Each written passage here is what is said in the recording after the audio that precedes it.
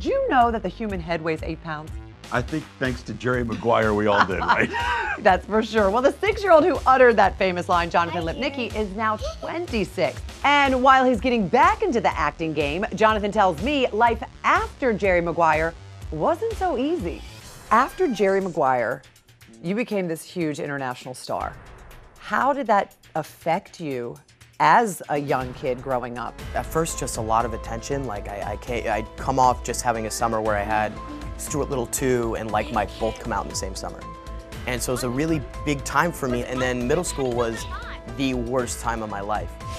There was a lot of, you know, bullying I dealt with and um, I was definitely dealing with a lot of, uh, and I still to this day, it's a battle, you know, anxiety and depression have been uh, a part of my life. Everyone goes, oh, you know, it must be great to be Jonathan Lipnicki. And I'm like, man, I would be, I'd pay to be anybody but Jonathan Lipnicki. These days, Jonathan is happy just being himself.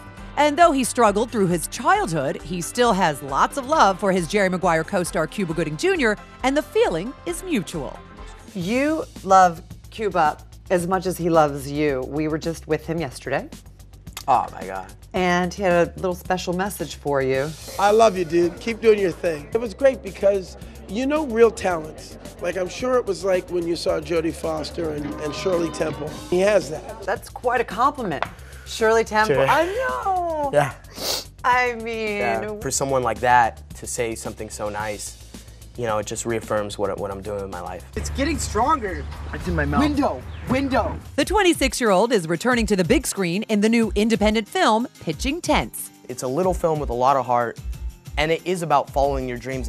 He's also adding producer and writer to his resume, and I wanted to add matchmaker to mine. Who is your celebrity crush?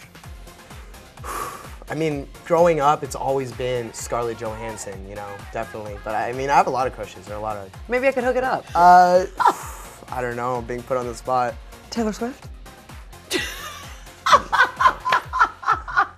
No. You look like my next mistake. I'm sure she's lovely. I just don't, I don't want any songs about me. They'll tell